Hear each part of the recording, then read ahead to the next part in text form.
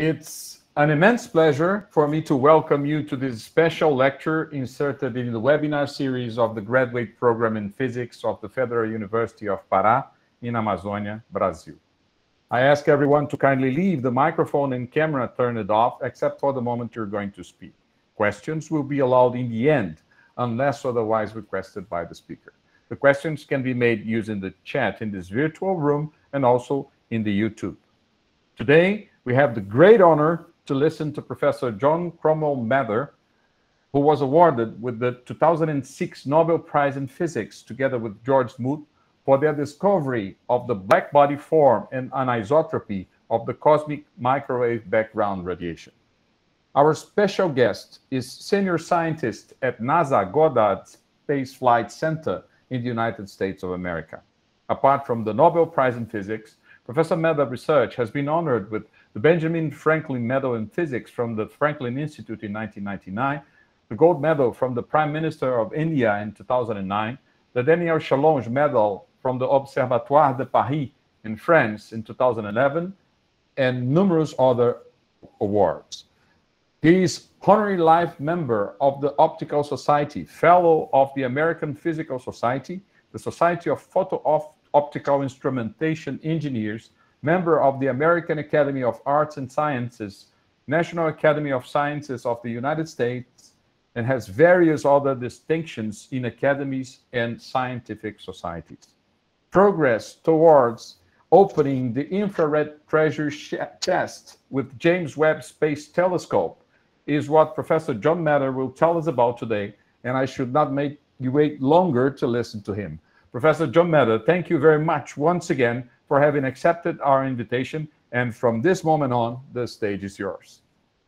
Well, thank you, Professor Crispino. It's a lovely opportunity to show you what we've been working on lately. And uh, also, as I'm showing you here, the, uh, the first slide of my package, um, I point out that uh, projects like this are immense. Huge numbers of people have been working on these things. Uh, when a Nobel Prize is given to a project like what we did before, on the Cosmic Background Explorer mission. That was the result of 1,500 people working together. Uh, this new telescope is at least 10,000 people have worked on it um, just to get this far. And there will be a possibility for all uh, uh, professional astronomers to work uh, with it in the future. So uh, just to give you a sense of how enormous these things are, and a, and a, an award or a prize really represents the work of an immense number of people. So what we are showing you here are a few things. Uh, number one, this is a project of three international space agencies, and NASA is the lead agency, but we have very large contributions from the European and Canadian space agencies. Um, the uh, picture in the middle shows you the gigantic golden hexagon of the mirror. The primary mirror is 6.5 meters across, about 6.6 uh, meters to corner to corner. Uh, it is protected by a five-layer umbrella, a sunshade we call it, uh, which we see here in the picture as five sort of gray layers of thin plastic. Uh, and it is out there in space now. And of course, this is a view which you could never see because now the telescope is completely in the dark. Um, so uh, this is just the beginning to show you what we have accomplished. Uh, now I want to show you how we got it there, uh, just to begin. So uh, this is what a short version of what it took to build it and fly it. So uh, first we built the telescope. Um, and we built it out of all those uh, 18 golden hexagons along with an instrument package which in this picture has already been uh, through a test program, we know that it works. Um, uh, the telescope was uh, assembled at Goddard Space Flight Center, but pieces came from around the country. Um, after we had completed putting it together, we put it in a plastic tent and carried it around to the vibration uh, uh, tests area where we could apply a vibration similar to what would be experienced during a rocket launch. And then we were done with that. We put it in a shipping container uh, and put it in an airplane and flew it from Maryland in the United States down to Houston, uh, in, in, also in the United States, where it was tested in the gigantic vacuum tank, uh, the same one that was used uh, for the Apollo astronauts to uh, practice walking down a small ladder onto the surface of the moon back in the 1960s. Uh, we learned that it worked. Uh, we had a few worries we tried to take care of. And um, anyway, we're very happy with that. By the way, the uh, test occurred during the middle of a Hurricane Harvey, where well over one meter of rain fell on the city at that same time. Uh, but the telescope, of course, was inside a vacuum tank and it was fine. When we were finished with the vacuum tank testing, we put the telescope back in the airplane, uh, flew it out to California uh, near Los Angeles, where it um, was uh, attached to the rest of the observatory. What you see here is a small picture of a very large sunshade. The sunshade is about as large as a tennis court. Uh, then when it was all put together, uh, we unfolded it one last time. We vibrated it one last time. And we uh, then put it in a ship and sent it through the Panama Canal all the way to the launch site in uh, French Guiana, uh, very close to where you are, much closer than I am at any rate. And uh, then the uh, same truck came out again. Uh, it was took the telescope and the whole observatory over to the launch facility. And you see here a small picture with the folded up telescope in the top of the Ariane 5 rocket, which by the way is provided by European Space Agency from the Arianespace uh, commercial rocket company in France. So then it was launched on Christmas Day, December 25, and it went right as planned. The orbit was essentially perfect, went all the way to the desired place in uh, in space, and it is now completely unfolded, and it looks like this in space, except of course that it's dark out there and you couldn't really see it. So that's just a short version of what it takes. Uh, there's no way I can convey to you the amount of labor and ingenuity and determination that it took uh, the 10,000 people to solve every technical problem as it occurred. So a few last minute pictures. Here are telescope uh, pictures at the launch facility in French Guiana. Uh, you can see a little bit of perspective here. And uh, it's beautiful.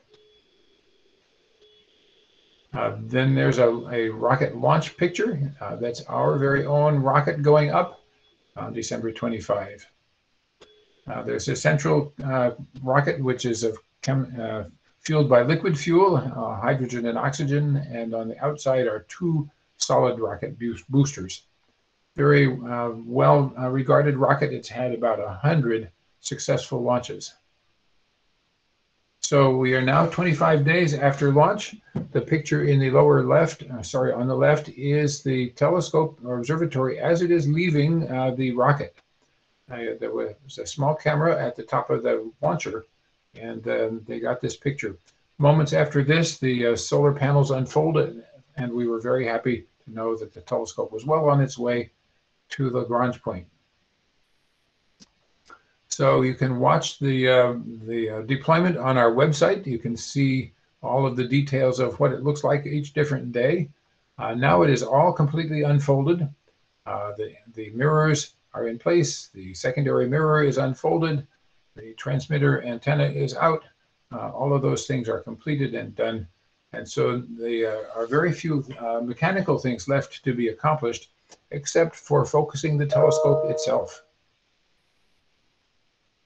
So where is it? It's almost all the way there to the Lagrange point. Uh, so we are there at day 25 on this graphic.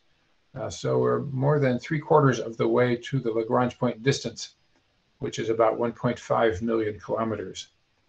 94% um, of the way there. We're not moving very fast anymore. We are coasting uh, effectively to the top of a hill and we will get uh, close to the top and then we will adjust the orbit in about three more days, three or four. So actually it was possible to observe the telescope uh, from the ground. This is a, uh, amateur astronomer's uh, picture, I believe. Uh, it, uh, watching, watching the telescope go. It is currently fairly far south of the ecliptic, and I'm not sure what constellation this is Uh, but anyway, people that know how to find things can do this and actually watch the telescope out there. Now, here is what is coming for us. We have uh, finished uh, the first uh, 25 days of the commissioning process, but it takes altogether uh, six months. And so uh, we've got the telescope unfolded. we will soon adjust the orbit and start turning on the the near infrared camera when its temperature comes down enough. And then we will start looking for um, images of a bright star so that we can focus the telescope on a bright star. Uh, after that, then after enough of the instruments are working, then we start aligning the camera, the telescope to work with all three of the instruments. And uh, the last one to really come on is the mid-infrared instrument. Uh, it comes on after day about 100 then uh, the, the uh, final commissioning of the instruments themselves starts around day 125. So that's to give you an idea of what we have to do. Um, and so far, we're doing it very well. We're exactly on schedule, or even just a little bit ahead. The, uh, yep, very happy about that. So where are we going? We are going, going to orbit around the Sun-Earth Lagrange point. Uh, the Lagrange point 2 orbit is actually a little bit unstable. We do occasionally need to fire rocket engines to stay close enough. Um, the orbit we choose is not actually at the Lagrange point. Um, we avoid it for two reasons. One is that it takes more energy to get to it, and the other is um, we really don't want to be in the shadow of the Earth. We need the solar electricity from the solar panels to power the observatory. So this is called the Lagrange point 2. Uh, there are five of them, and these are all places in which the combined gravitation of the sun and the earth will pull the uh, payload around the sun once a year and keep it in about the right place. So that's what we're doing. Uh, Lagrange Point 1, by the way, is also the home for several uh, telescopes and observatories. They are good for looking back towards the Earth from L1. So now I want to go back to a little bit of science. Uh, the sort of general theme that people have for the Webb telescope is how did we get here? Uh, what uh, happened after the Big Bang? Uh, what are the processes that brought uh, the uh, solar system into existence uh, from the primordial material? So um, here we just summarize a little bit of that. The expanding universe, we believe, started out very smooth and very hot. Um, and there's much to be thought about. It's pretty unknown what really happened. At any rate, we have learned that it was unstable in many, many ways, especially uh, from gravitation. Gravitation is the weakest force of all in physics, but it is the only one which reaches across uh, effectively infinite distances and is able to stop the expansion of the, uh, of the material uh, locally and pull it back and turn it into objects like galaxies or stars. And so we're here because of that. Um, gravitation can do that. Um, the universe is immense. It is uh, usually assumed to be infinite, although that's not provable because we can't possibly observe infinity. Uh, we can only observe the part of the universe that is within sight, uh, in the range of time uh, that we have. So if the universe has an age of about 13.8 billion years, then you cannot see the entire thing. You can only see uh, the distance away that light has traveled in that period of time. Uh, more locally, we've learned about uh, the complexity of our world and how uh, DNA is a digital code that uh, governs the process of life. And of course, uh, digital code has unlimited complexity. Um, there is no nothing that tells you that the digital code must be simple. Uh, we felt very happy when we learned about 1953 that it was carried in a uh, double helix molecule. And now we are able to read that molecule and see the sequence of letters. Uh, but what is the most trickier thing in this interpretation is what does it mean? So it's trying to decode an ancient language that was developed by uh, more or less random processes. Um, but it's um, we are here because of it. Uh, people thought for a long time after Charles Darwin told us about evolution that uh, human beings were obviously superior to all others because we had we are now um, the survival of the fittest. But actually, I think uh, evolution theory more likely tells us now that we are the lucky uh, rather than the most fit. So um, it also means, that, of course, that our uh, our survival for the next billion years is not guaranteed. A billion years is about how much time we have before the sun gets too bright for us and it gets too warm here, regardless of what we do. Uh, from the engineering side, we've also learned about uh, control laws and how to stabilize a system. Biologists call this homeostasis. So each of our individual cells uh, operates in such a way to maintain its identity and function over a long period of time. Uh, and when it's done with its job and is old, uh, it can reproduce and make another one that does the same thing. That's a pretty astonishing thing that biologists have understood in general terms for a long time. Uh, honestly, to really understand that is to understand the mystery of life. So, uh, to summarize the physics part of this, uh, we have uh, four forces of nature Quantum mechanics uh, governs three of them that we know of. Uh, and they basically say how the particles stick together. Uh, what are the properties of all this, the little blocks that make up everything else? Uh, and so that's, um, well, it seems to be true. Um, we do not honestly feel comfortable with the interpretation of quantum mechanics yet. Um, so, however, we can feel pretty clear about the, the more classical implications of how the, the molecules are built, how they stick together, how they do things. Uh, we do have a, an excellent theory uh, due to Einstein, of course, for gravitation and relativity. Uh, from an astronomer's perspective, the big deal is that gravity is what governs the formation of objects from the expanding uh, original material. Um, we know from uh, basic physics um, about equilibrium thermodynamics and how to calculate binding energies and things of that sort. Uh, what's much less familiar to us um, in, in specific or in general terms is non-equilibrium thermodynamics.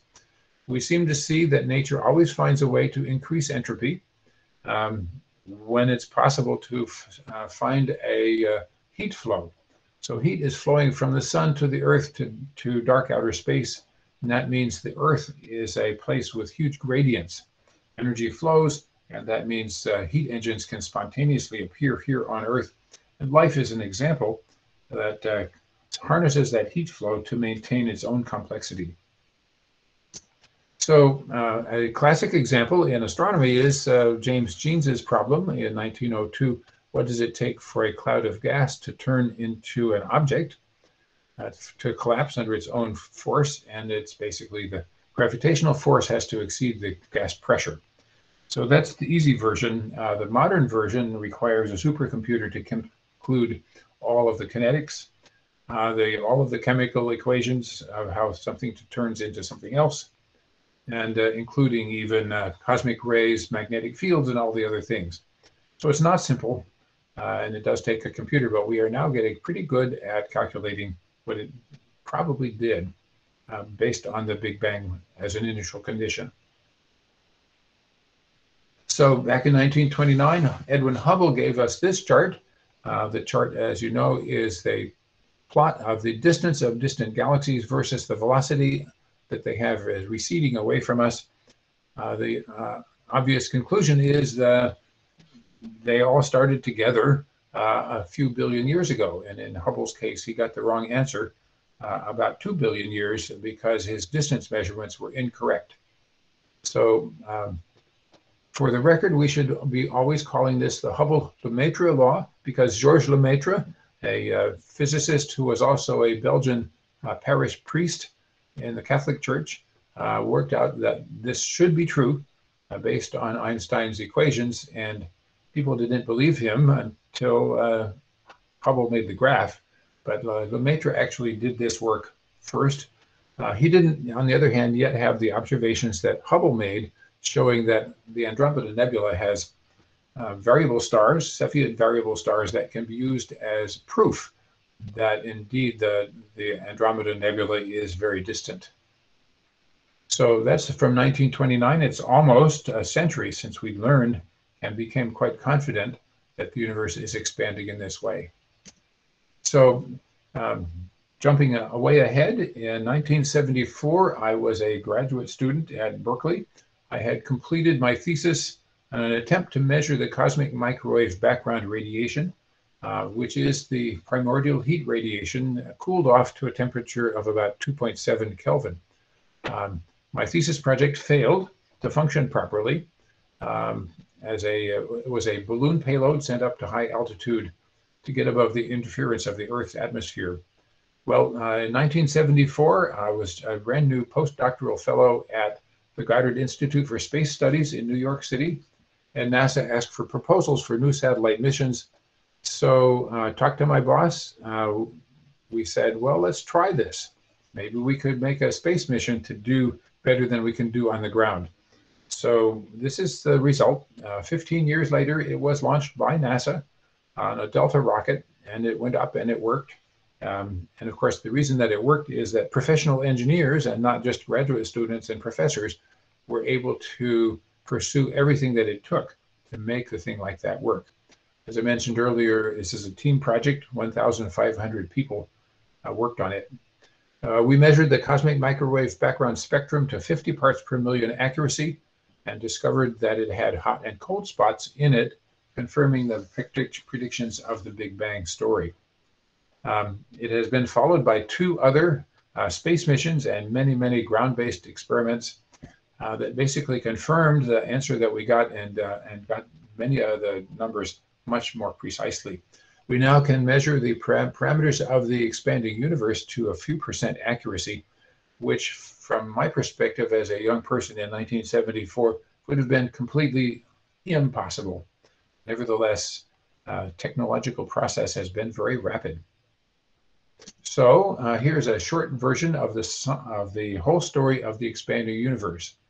Um, the uh, explanation that we currently like for what made it expand is that there was an early period of um, instability in which uh, the not the universe was not filled by particles at that point, but by a quantum mechanical field called the inflation field or inflaton field. And that field was unstable as it oscillated. Uh, it uh, produced the, the particles of nature that we see today, the baryons and the and the uh, leptons, and uh, of course the force carrying particles like the, the Higgs boson and the photon. Uh, those were all produced from this earlier period of instability, along with the expansion uh, that uh, was exponential in nature for a uh, very brief period of time, but was enough to set off the conditions we now see. So as far as we can tell, there is no center and there is no edge, and the universe is now and always was infinite. That means uh, when people say the universe was compressed into a point, it is a false statement. It could not be compressed into a point. Um, you cannot change the dimensionality of the universe from three space and one time into the dimensionality of a point, which is zero dimensions.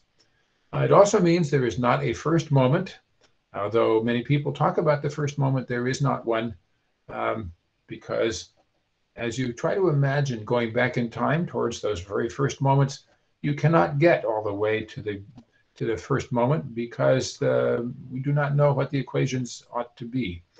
Um, you know, as you get higher and higher temperatures and densities, um, you just have to give up and say, I do not know what to imagine at those earliest times. So no, the universe did not get created. Did not we did not have something from nothing. It is not like a firecracker, which is a small explosion at a place and a time. The universe itself is, uh, and the universe is an infinite universe expanding into itself. I say this because uh, so many people are so confused about the idea of the expanding universe. So how do we know if it's true? Well, of course, we take pictures with, a, with our telescopes. Hubble telescope is now 31 years old, almost 32 in April, uh, and it is working well most of the time.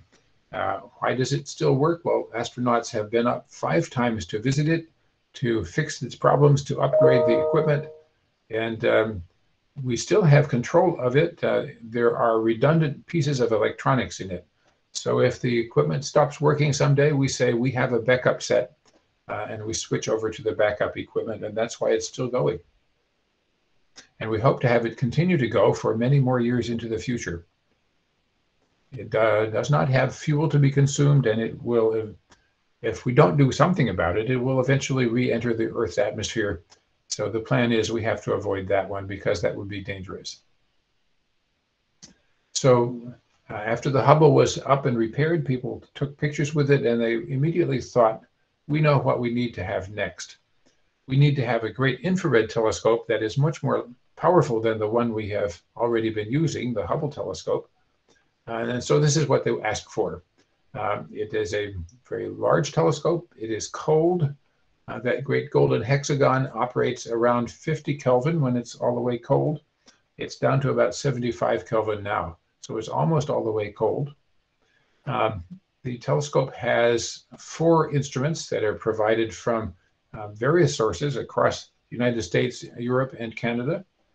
And it is being operated from the Space Telescope Science Institute in Baltimore, Maryland, um, just as we do with the Hubble Space Telescope, except this time uh, the actual controllers that send the commands to the telescope are in Baltimore. So um, the um, original plan and requirement for the observatory was that it must be able to operate for at least five years. Um, the only thing we know that will definitely stop it operating is when we run out of fuel. Uh, rocket fuel is required, and we think we might have much beyond the requirement of 10 years of scientific operations. If we're lucky, maybe 20. If we're unlucky, something else will work, will fail sooner. So that's our hope is many good years of observations so if you're an astronomer now, uh, you have a chance to look at what we find in the first year and write us a proposal for what to look at in the next time. So we have four major themes of scientific uh, interest. The telescope was built to observe these things. Uh, number one in the upper left corner is the idea of the first light of the universe. What are the first objects that grew from the Big Bang material? And when did they become capable of producing ultraviolet light that would strip the electrons from the hydrogen gas that's remaining and change the, the opacity of the universe? So that probably happened about uh, uh, 100 million years after the, well, the first objects probably happened around 100 million years after the uh, expanding universe. So we might hope to see some of them um, that's one of our great objectives. Uh, then we think galaxies grew uh, by gravitational attraction uh, from small pieces being pulled together to, to join in, into large ones. That they say the Milky Way may have been formed from a thousand smaller objects uh, colliding and merging together. So the uh, sort of beautiful, peaceful state that we see now with our, our spiral galaxy spinning around so nicely is the result of uh, collision after collision after collision. Uh, closer to home, we'll be looking at stars being born in their uh, prime in their dust clouds. The picture in the lower left is a picture from Hubble telescope showing the Eagle Nebula, a place where glowing stars are uh, illuminating their birthplace, and we'll show you more later. Later, finally, uh, where did where do the planets come from, and what are they like? The picture in the lower right shows you one planet, a little white speck in the upper right corner, orbiting around a bright star. Um, all that beautiful blue and gold material there is actually just glare from the star. We're interested in the star itself and in the little dot, the planet itself. So here is a summary of how the telescope itself is designed. Uh, we show you that there's a very large elliptical but almost parabolic mirror, which focuses the starlight down on a small convex secondary mirror. The light is reflected into the instrument chamber. There's a third mirror which uh, improves the optical performance and, uh, and gives a much wider field of view for the telescope. Those 18 mirrors are made of beryllium. Each of them is coated with gold, a very, very thin amount. Um, and those beryllium mirrors are light enough that you could lift one yourself if we would allow it. The big challenge here is that the members are very, very thin, which means a little not as strong as you might like. So it was a uh, major technological invention required to be able to polish them correctly, and especially to be able to get them to be the right shape at the operating temperature of about 40 Kelvin. So we learned how to do that, and uh, we had to build a special factory just for that. So we have altogether four instruments on board. These are their properties. Uh, near-infrared camera covers from 0.6 microns wavelength, which you could see as red wavelength, up to 5 microns. Uh, there's also a spectrometer that has three different ways to observe using a, um, a um, microshutter array to select 100 different targets or an integral field unit that can slice up a small area of sky and get a spectrum of each slice, or also individual slits, the uh, more classical way of getting a spectrum. Uh, we have a selectable uh, like, mm, spectrographic resolution for this one. We have a mid-infrared instrument uh, with cameras and spectroscopy. Um, and again, uh, with an integral field unit, uh, which slices up a small square of sky and gets a spectrum of every pixel in it. Finally, the, uh, the Canadian contribution is a fine guidance sensor, which we use to lock onto a guide star, as well as a near infrared imaging slitless spectrometer. Um, so that's how that's set up. Um, and they're all available for use by everyone in the world who sends us a proposal. So I'll give you a quick sketches of the instruments. Um, this is the near infrared camera. Uh, is uh, use mercury cadmium telluride detectors. It's cooled to about 40 Kelvin. And this one uses lenses uh, to focus the light. And it's uh, supported on a beryllium um, optical bench. So very uh, much more compact than the purely reflective system. So that was uh, that also is the camera that serves to focus the telescope. And there are two of them, uh, module A and B, uh, mirror images uh, to make sure that we, we are protected against a random part failure. We have a spectrometer, the near-infrared spectrograph that I mentioned, which is able to select 100 different galaxies uh, to observe at the same time. Uh, it is done by this instrument, which is a, a completely different technology, very complex. They decided to use a silicon carbide optical bench uh, and this time, uh, the special technological innovation was the microshutter array, which we invented at Goddard Space Flight Center. The optical diagram in the upper right shows you how it works. There's a, uh, we focus the sky onto the array of little shutters and then we open them up in a pattern. Um, we have a mid-infrared instrument, and again, these are lovely gold coated and they're insulated by uh, aluminized plastic uh, to keep them at the right temperature. Um, this was, the, from some perspectives, the most interesting one because this was a consortium of uh, 10 different countries in Europe that built, built this along with our team at uh, NASA Jet Propulsion Lab. I thought that's so complicated that they were finished uh, first. They were the first one to be done. So here's the, uh, the diagram of the uh, Canadian instrument and the, and the uh, fine guidance sensor. So on, another different version of how to do it. Uh, you see all of these instruments have these thing called kinematic mounts, uh, which are uh, tripods uh, that are used to deal with the fact that each instrument is made of a different material and will contract a different amount as the temperature goes down to the operating temperature. So how powerful is this observatory? It is extremely powerful. Uh, if you were a one square centimeter object at the distance of the moon from the Earth, uh, we would be able to observe it. Um, it's actually also a challenge to look at very bright objects here in the solar system. Uh, so uh, we have our ways to do that uh, because we have a very generic kind of control over all of the parameters of the detectors. So uh, we can observe all of the solar system from Mars on outwards. Mars is the brightest. Um, and that also means, by the way, we have to be able to track a moving object that has an ephemeris. if there is another interstellar comet coming through, uh, we will be able to watch it and track it as well. So just to show you some illustration of what we're going to be looking at, uh, we will be looking for and at the very first galaxies. One of the first uh, topics identified by the um, astronomers that were using the Hubble telescope was, um, please let us look farther back in time. Uh, the Hubble telescope uh, produced this beautiful picture, which is called the Hubble Deep Field. Uh, and it has uh, shown that there are very many more galaxies than people expected and that they were formed much more quickly after the Big Bang than people expected. So the answer was, please build us a telescope that can see farther back in time.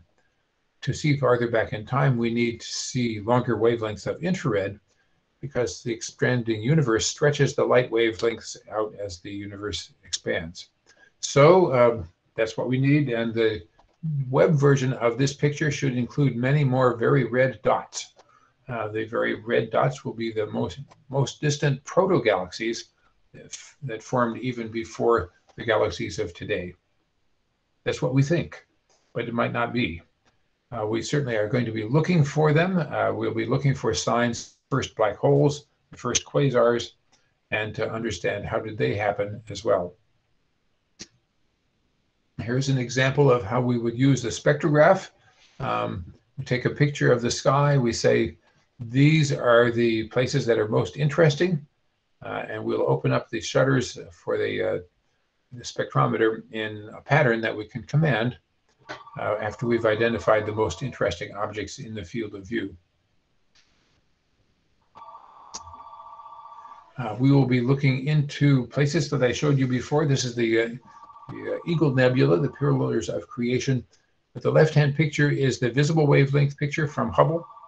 The right-hand picture is the near-infrared picture, and you can see they're very different.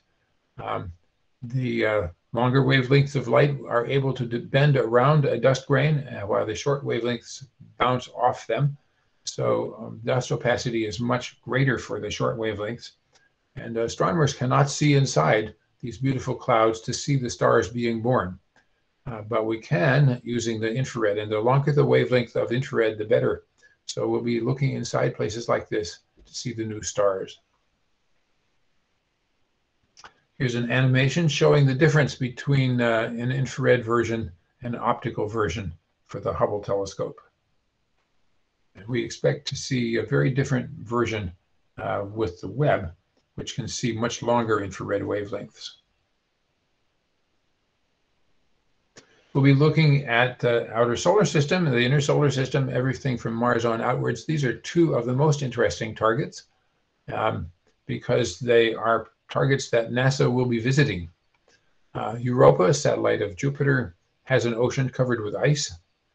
And there are places, uh, you can see the, the cracks between the blocks of ice are brown here. Um, water comes out occasionally uh, from those cracks. And we've seen those uh, water jets with the Hubble Space Telescope. Uh, we are planning to send a space mission out there to fly through the jets of water and see if there's anything in them besides water, uh, possibly organic molecules, for instance. Webb telescope will be monitoring this object as well. On the right-hand side, we have a map of Titan. Uh, Titan is a uh, satellite of uh, Saturn, and it is got a large and thick atmosphere. It has about one uh, times about the same atmospheric uh, uh, pressure that we have here. Gravity is much less, so that means that it's not impossible to build a helicopter. So we have a helicopter being designed that is going to be sent out there to look at this place. So this is interesting partly because it has uh, lakes and rivers and rain uh, and surface structures, a kind of geology that's based on a very different situation.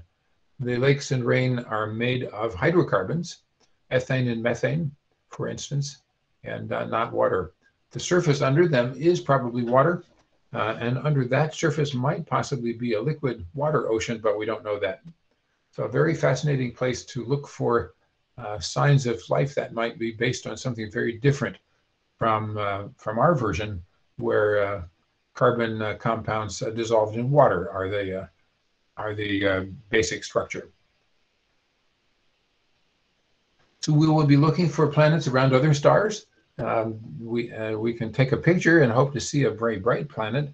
We can also do this uh, transit spectroscopy. Uh, we already know from two observatories, the uh, the uh, TESS mission and the Kepler mission, and from and from a few discoveries on the ground, we know when a planet is going to go in front of its star. So a little bit of the starlight can go through the atmosphere of a planet if it has an atmosphere and be modified on its way to our telescope.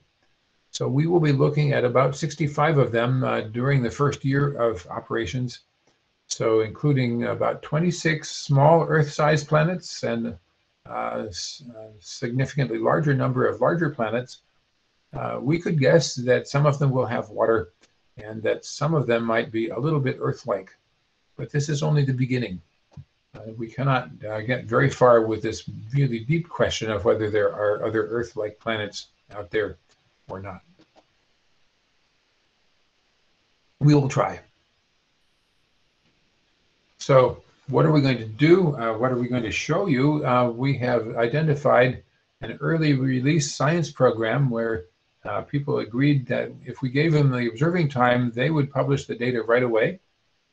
And so 13 different proposals were chosen, and you can read about them uh, if you like. Um, if you do a Google search for JWST Early Release Science, you can find out all about them. Or you can just wait for us to announce what we've seen. Um, if you want to follow along, there is, of course, uh, a large number of ways you can track us. as the websites that we run but uh, for me, the quickest way to find them is just to Google uh, JWST uh, progress or blog or various other things. We post a blog about once a week saying what we are doing currently to, with the telescope. So that's uh, what I wanted to tell you about the Webb telescope. And now I want to move on just momentarily for a uh, short discussion of what could come next on the ground. So as you know, we are building enormous uh, telescopes on the ground. Uh, at least for now, they are bigger than anything we can imagine building in space. The biggest one is not so far away from Brazil. It's the European, well, it started out as European, now it's more international, the extremely large 39 meter diameter telescope.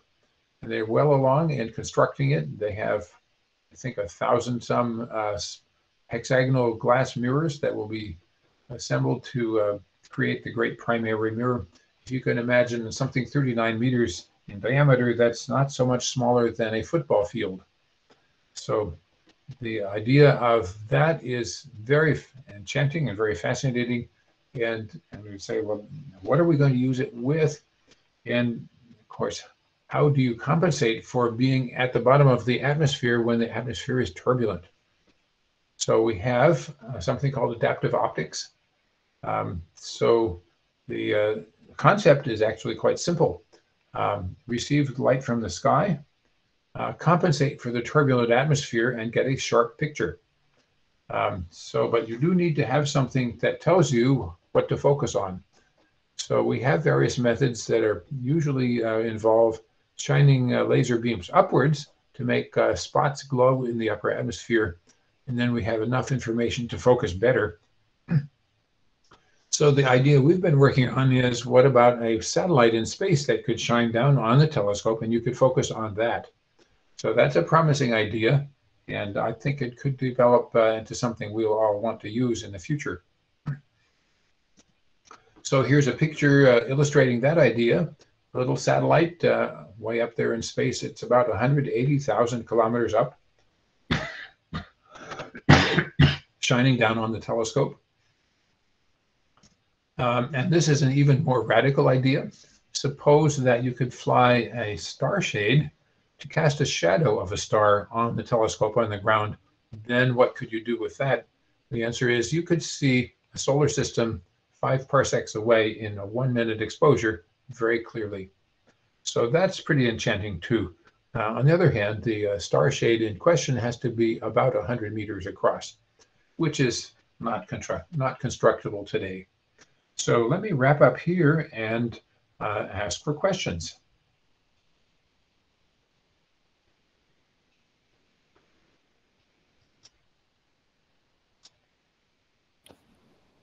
Okay, Professor. So uh, before we proceed, let me ask uh, for everybody to turn on their microphones for a huge round of applause in retribution for this wonderful webinar.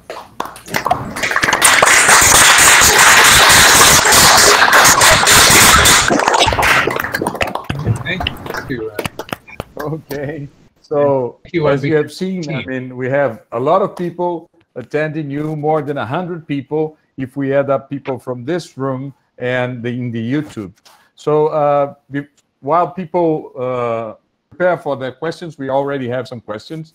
Uh, let me give you a panorama of the audience uh, you had. So uh, we have people from all the five uh, different regions in which Brazil is divided, right? More than 15 states and our capital. So in the north region, we have people from uh, Pará, obviously where I'm speaking from, but also from Amapá.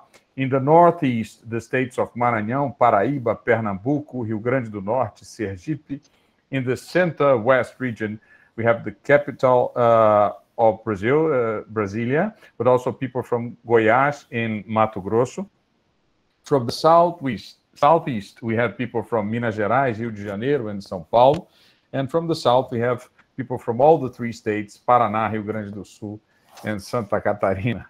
Obviously, uh, we have uh, people uh, from our university, undergrad, graduate students, uh, postdocs, teachers, and professors, not only people uh, from physics, but from other areas like geophysics, mathematics. Uh, we have people not only from the city of Belém. Pará is already a very big state, right? So um, not have only people from Belém, but also from cities like Ananindeua, Castanhal, Santarém, Santa Isabel do Pará. I know these names are uh, unusual for you. And obviously, we have people uh, from uh, many uh, universities, institutes, uh, research centers, and observatories all around Brazil. Um, students, uh, postdocs, teachers, researchers, and professors. we have also people from abroad attending us. so we have the honor to have here Professor Atsushi Higuchi from uh, University of York, Professor Barry Barish, uh, and Professor John Friedman from the United States, and also uh, people attending from other uh, countries like uh, students that are in Portugal at this moment. So, uh, as I said, thank you very much. we have a question. The first question comes from Satish Kumar, PH, that is attending from from Houston. Okay, so th thank okay, you, so. Luis. Uh, th thank you, Dr. Mather, for your talk. Happy New Year. Um, the, the, the, last time I heard you talk, I attended your talk was in 2013. Uh, I was a graduate student at Baylor, and you visited us to inaugurate a building. I don't know if you remember uh, going to Waco, Texas. Uh, you had lunch with our research group, and uh, you gave a talk. At that time, JW, uh, the, the James Webb was in the initial stage, initial stage of assembly. I think you had just installed MIRI at that time, I guess. Um, so now it's, I, I, find it very poetic and fitting to listen to you after it's being launched. Um, so with that said, uh, my, my first question is, um, yes, you said there are a few, like 20 programs, right? So for, for uh, the first year, what's the first thing that you are going to observe using uh, James Webb? Because uh, just to preface this, like COBE, uh, you, your team, the, the, the FIRAS, right? So for FIRAS, you, you produce the most beautiful black-body curve ever, including the laboratories, right? So it's the most uh, perfect black, black-body curve. So what is the first thing that you're going to do with the James Webb? That's my first question. Oh my goodness! Well, oh my goodness! I, well, I, I do not know. I do not very, know the very. Um, we may need to turn off a microphone. There we go. Thank you. Uh, so um, we have not announced what the first targets are going to be. Uh, the first thing we have to do is to focus the telescope on a bright star. We hope that it's uh, just very simple and all we see is a star. Um, the, uh, the commissioning program for the instruments will include some, uh, some fascinating uh, scientifically valuable things, but we have not chosen which ones they will be that we will tell you about. so it's not been announced yet which will be first. okay, so then it's a, it's a surprise. Uh, my, my second question is, in, in the sun shield, you have like six layers, right? So six are uh, six layers. So what, what's the temperature gradient that they can withstand? What's the material that sun shield is made of? Yeah, actually there are five layers and uh, the uh, sun-facing surface is uh, quite hot. Um, it's not quite up to boiling temperature, but almost. Um, so, and the cold surface is down around 70 Kelvin or 50 Kelvin. It's uh, got radiance. It's not the same everywhere, but it's uh, an extremely effective sunshade. Thank you. What's the material, by the way? Uh, the sunshade is uh, Kapton, which is uh, like the Mylar that you get uh, um, uh, soft drink bottles, uh, only it's an aerospace version. And it's coated with metal to keep the infrared and, and heat from going through. Thank you. Okay, thank you, Satish, for your questions. Thank you, Professor John for your answers. So uh, the next question uh, comes uh, as a curiosity from a student. Uh, his, uh, he has wrote down in Portuguese uh, here in the chat, so I will translate it to you. So, Professor, thank you very much for your wonderful presentation. I have a curiosity about the date chosen for the launch. So it's Christmas, right? So yes, can you tell him, please? Yes. Uh, well, um, we wanted to launch it much sooner, um, but we encountered all kinds of little uh, problems, and uh, we gradually uh, solved them all, and we were finally ready to go on Christmas Day. So um, it's just a coincidence that that's how it turned out. And uh, we're very appreciative that uh, the launch crew was willing to work on that day because it was a conclusion of a tremendous effort. Okay, so uh, thank you, uh, Enrique, uh, for your question. Thank you, Professor, for your answer. So uh, the next uh, question comes from, from YouTube.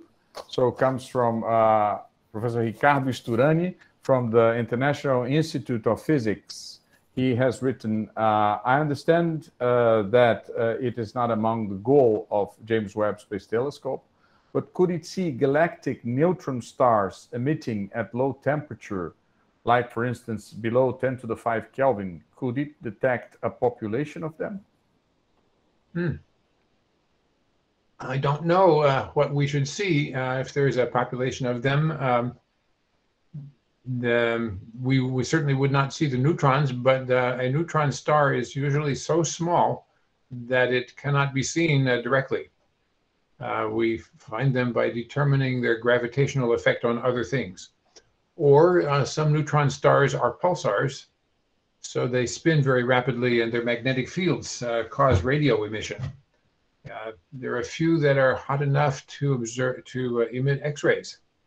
So, um, but it's very hard to see them uh, with uh, ordinary visible light.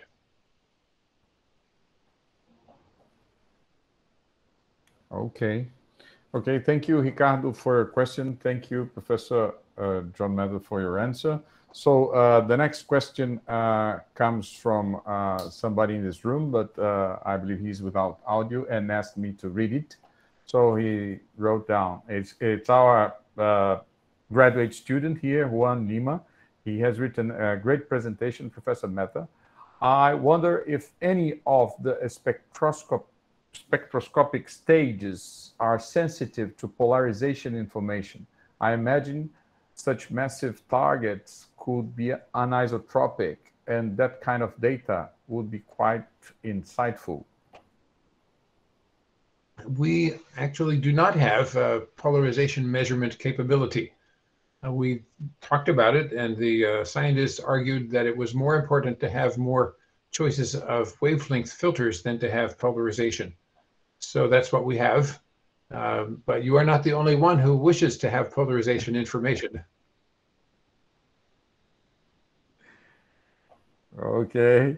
Okay. Thank you, Juan, for your question. Uh, thank you, Professor, uh, for your, your answer. So uh, uh, you have mentioned, and indeed you were right. I mean, so although Brazil is, is very huge, right? Uh, I, I am speaking from a place that is basically close, very close to the Kourou uh, uh, base where in the French Guiana where uh, it has been launched. In fact, uh, just as a curiosity, you know, uh, some years ago, some pieces of the Ariane rocket were found floating, you know, in, in, in river shores near Belém in cities like Salinas and, and, and, and other places. Because, I mean, it falls in the ocean, but obviously the tide brings it to the coast. So it's uh, as a curiosity. So uh, you you have mentioned. Uh, I, was really impressed about the image you have shown, in particular uh, with the Eagle Nebula, the pillars of creation, as you mentioned, right? Uh, how infrared an infrared image can be quite different, right? So uh, and well, I really was in, impressed about that. So so the idea is then uh, to have so other.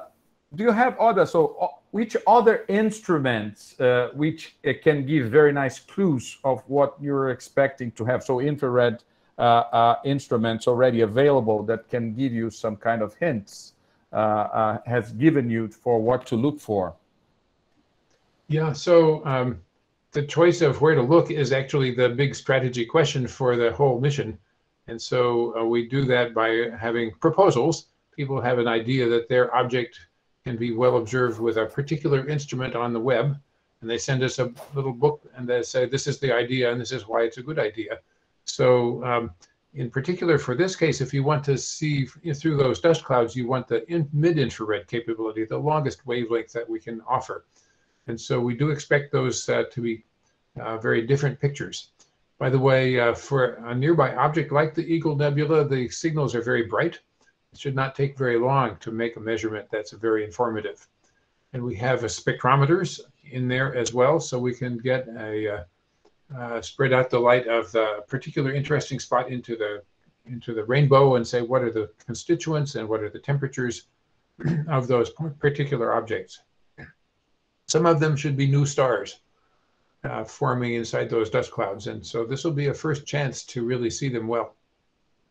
Mm-hmm. I see. So uh, you so uh, it has kind of already been asked by by Satish before, but uh, so do you have kind of preferred targets to look for? I mean, you yourself, while in all these years of uh, yeah. So I'm not actually observing with this observatory. Um, I viewed it as my function to make it available to everyone. Uh, so, um, but I'll tell you what I think is interesting, especially. Uh, number one, uh, in the cosmology area, uh, we know there's a problem about the early universe. Um, that recent measurements of the Hubble constant, the expansion rate, uh, are, are getting so precise that the different methods of measuring it do not agree. And so this says maybe the interesting part is is in the universe itself. Maybe the the uh, expansion rate has been changing in a way that we didn't expect. Uh, some uh, additional kind of dark energy. So that's one explanation. Another story would be, well, we just made a mistake. Or another one is that the universe has, has uh, fooled us in some way. So something's interesting about that. Uh, the other thing where I think satellites surprises could appear would be in uh, planets themselves. Um, we have been surprised every year about the properties of planets. Uh, first, the uh, discovery of very hot, bright planets orbiting very close to their stars, which led to the Nobel Prize uh, for Mayor and Queloz. Um, so that was a big surprise. Uh, now, uh, another surprise is that there are no solar systems out there that look like ours yet we've been looking and looking and we have thousands of them in the box, but none of them look like home. So why is that? Nobody knows. So um, maybe we make some we make some progress on that.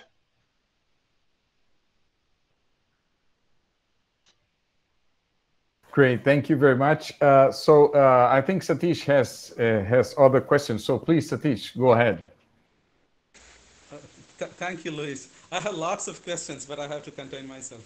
Um, so the, the, the farthest star that we know, individual star that we know is uh, Icarus, right? So through gravitational lensing, we know it's, it's like 14 billion light years from us. So um, can uh, obviously we can see further than that using James Webb, right? So, do, do we have like candidates for the most infrared farthest uh, stars uh, other than the Mm. Actually, no. Um, nobody's ever seen them be- before. Uh, so we have a list of the most distant quasars and galaxies that were found by Hubble. And uh, as far as we know, there's uh, nothing beyond that until we look. So uh, Webb telescope is such more, so much more powerful in the search for the very distant objects that we maybe get 10 or 100 times as many as the Hubble could find. So uh, we'll see what we find. It's an open question. It's question. an open question. So when you say first stars, it's really first, first time that we are going to see, and first time, first to be formed, right? That's, So- that's right. And That's right. And And they are hard to find. They are not very common and they're very faint. Uh, so, and even after you found one, you have to prove that it is a star from the distant universe and not some little uh, asteroid nearby. Um, speaking about the uh, instrument, since you have a very large uh, sunscreen, don't you think you have a larger area of cross section for something to be hit? So uh, how is that can be can be avoided? Is there any way? Uh, yes, uh, there will be holes in the sunshade. Uh, that's the reason that we have five layers of the sunshade, so that it will still work even if it has holes in it. Uh, there will be holes in the mirror, uh, but that's not probably a problem. Uh, in fact, there are many telescopes on the ground that have holes in the mirror and they work just fine. Uh, so we don't think it's a problem, uh, but of course we'll be watching. One last question, I will make it fun. So since you said you can take a picture one square centimeter on the moon, can't you take a picture of the Apollo landing site and then put an end to the conspiracy theories with the James Webb, please? Thank you. Yeah, actually, no, we can't uh, observe a, an object on the moon.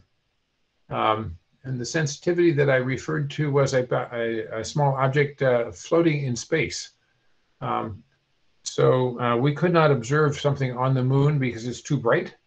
Uh, and uh, we also cannot point in the direction of the moon. Uh, too close to the sun. too close to the sun. Okay, thank you, Satish, very much. Thank you, Professor John Mather. So uh, another question comes from uh, John uh, Rojas. Uh, he's in the room. So, John, would you like to turn on your microphone and make the question yourself? Okay, thank you, professor. Um, my, I, I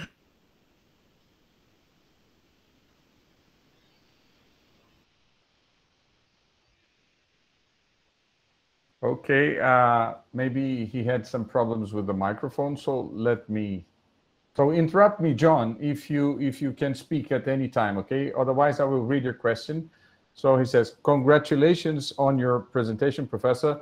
Uh, does the telescope ha- have some degree of artificial intelligence for navigation, which allows it to maintain itself in the event of an occasional or accidental disconnection with the bases on the ground, or uh, in the event of having to avoid the collision with an object? Uh, and second, what do you think would be uh, the most optimistic and unexpected discovery that or wish to come with James Webb Telescope about your, I mean, your major interest, essentially?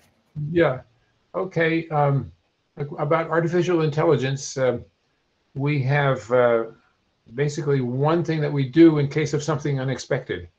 Um, the uh, biggest hazards what we face are electronic, as far as we know. Uh, so I, if the computer fails, which is not unusual for computers, uh, then the telescope will become safe, which means it knows to protect itself from turning in the wrong direction. It would be very unsafe if the sun were able to shine on any part of the telescope.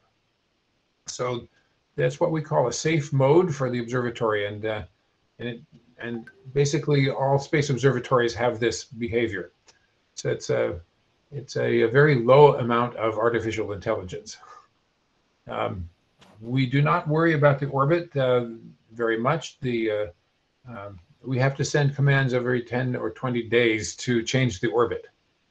Uh, because the orbit is a little bit unstable, uh, so we will watch that from the ground and determine the orbit. Uh, the observatory does not itself know its position very well. We have to tell it where it is. Okay. So uh, thank you, John, for your question. Uh, thank you, Professor John Mather, for your answer. Uh, Ricardo is now in the room. He, Professor Ricardo Sturani from Rio Grande do Norte, and uh, he wants uh, to make another question. So please, uh, Ricardo. Hello. Thanks. I just wanted to follow up. So yes, it was said um, that neutron stars are visible down to um, their X-ray emission. My question was exactly, so can James Webb Telescope go below, go down to visible emission of nearby neutron stars or not? Ah, so I think our answer is yes, we can look at them, but we don't think we will see them. Um, I don't think there are any proposals to look directly at neutron stars. The uh, nearest one that would be interesting would be, of course, the one in the Crab Nebula. So maybe somebody will look at that one. I don't know what the plan is for that. Um, Thanks. Since it uh, spins around at uh, uh, very high rate. What is it, 300 hertz or something to the spin period frequency of the Crab Nebula neutron star? Um, that's much too quick for our detectors to follow, uh, but we might still be able to find something. I hope somebody's looking because it's no, easy for me to give an answer, but uh, it's different to measure. I was not talking about the, um, the radio emission, no? because if you look at the distribution of the neutron star, then there is this cut basically. At some luminosity, you don't see any more of them because of because of uh, observational bias, of course. So then you could see fainter, uh, electromagnetically fainter neutron star. Basically, the idea was that if you see that the, the curve of um, luminosity doesn't go down indefinitely but has a plateau, then it could be the sign of something reheating them like dark matter. But this is very exotic, I understand, the main object of James Webb. Well, if you think we should observe it, then maybe you should write us a proposal.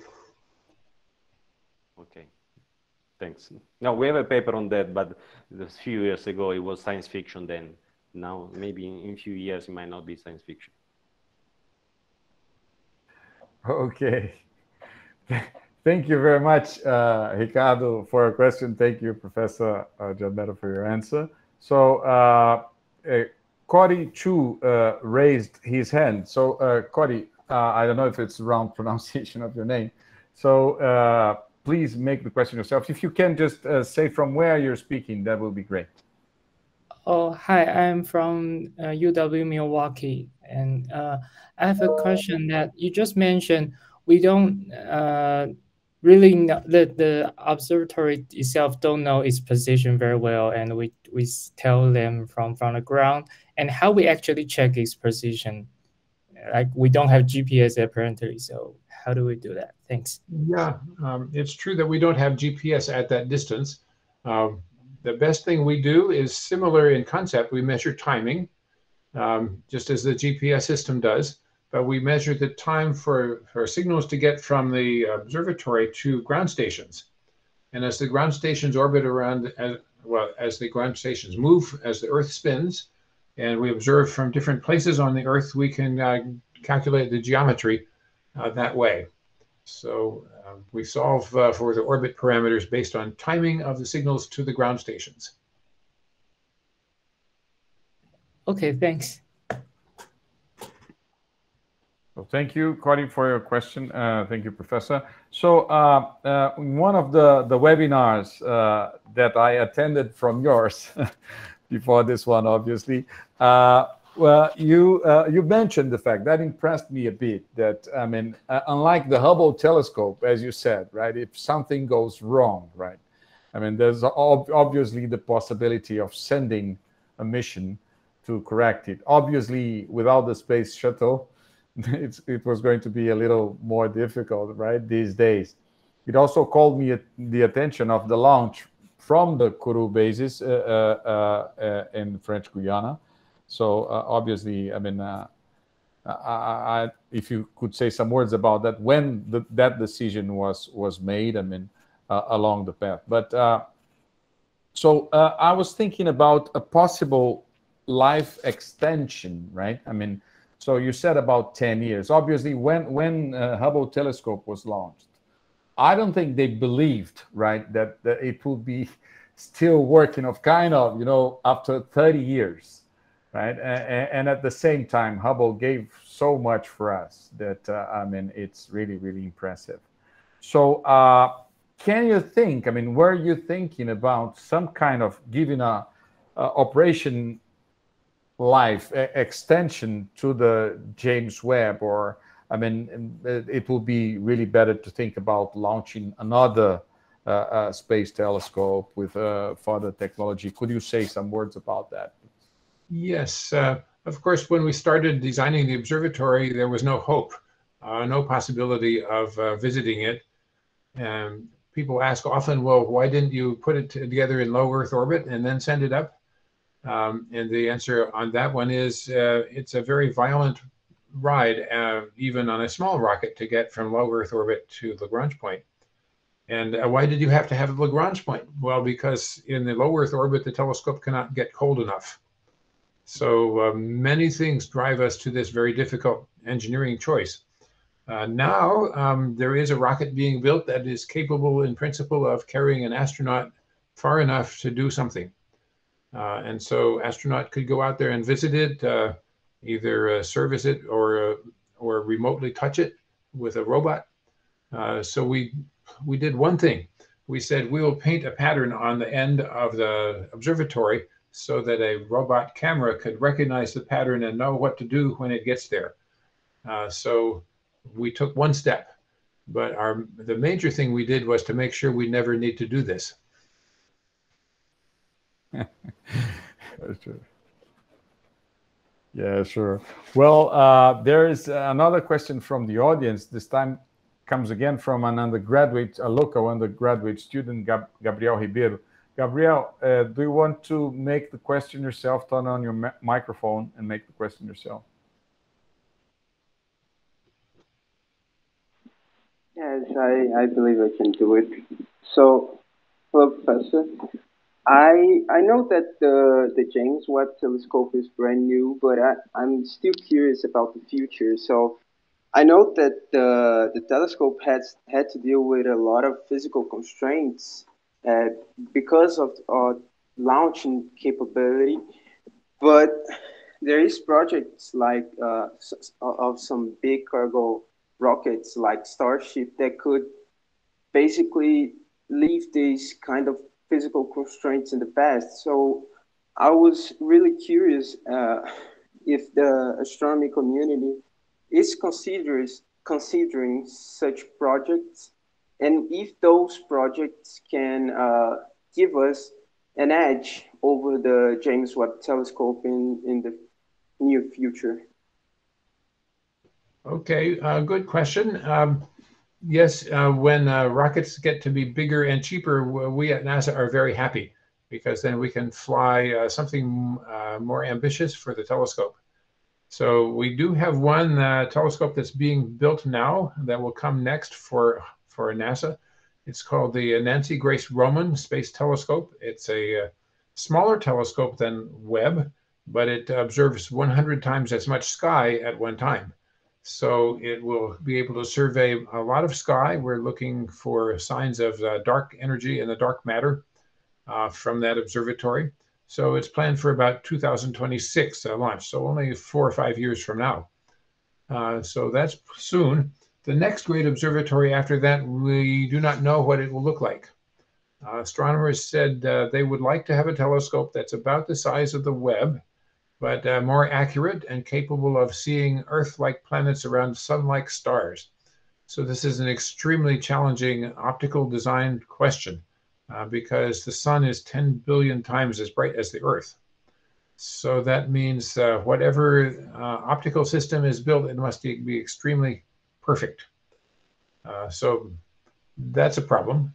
Um, and that's one of the reasons why it's not bigger than six meters. So we don't think we can afford a bigger telescope than six meters for the next thing. Um, we can draw them, but we can't afford to build them. I see. Well, uh, thank you very much for the answer. Mm -hmm. Thank you. Thank you, Gabriel. Uh, thank you, Professor, for your answer. Uh, so, Professor, Uh, I know uh, uh, you have a time constraint. So maybe just uh, before we finish, uh, uh, I know you already mentioned that, but can you tell us when should we expect the first images and and which will be the, the, the first targets or some, if you have a, a, already a scheme, can you just say some few more words about that for us to kind of conclude? Yes, uh, well, the uh, conditioning plan that I showed you uh, very graphically is supposed to take six months. So that means if we're on schedule, then uh, June 25th is the date we should be finished.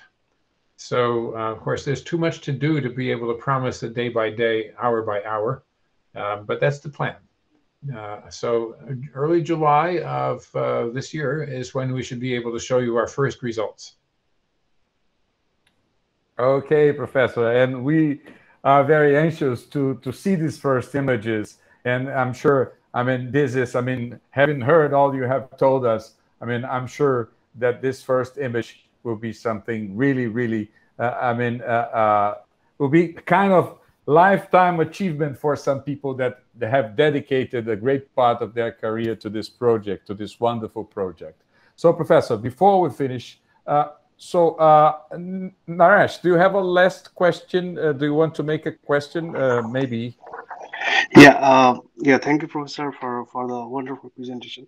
I'm also from UW Milwaukee yeah while going through uh, question answers and going through all the physics uh, we we talked about uh, uh and this topic is also like in, in interest of mine although currently we are focusing on a very large object but uh, in future in future would we be able to like with precision uh, see scattering uh, of any any any radiations by any compact object?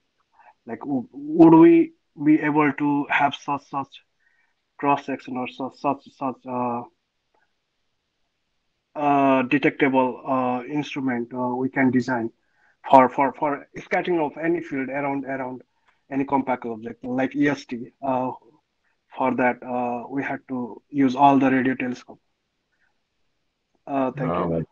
Yeah, that's a hard question. Uh, you're asking uh, about compact objects, uh, which are very hard to study uh, because compact means uh, very little light comes from them or can be blocked by them. So Webb telescope is not the perfect tool for that. Um, if you want to find evidence for compact objects, we have to study a lot of sky at once. And so um, you might say, how would I know if a, uh, a small black object was crossing the sky?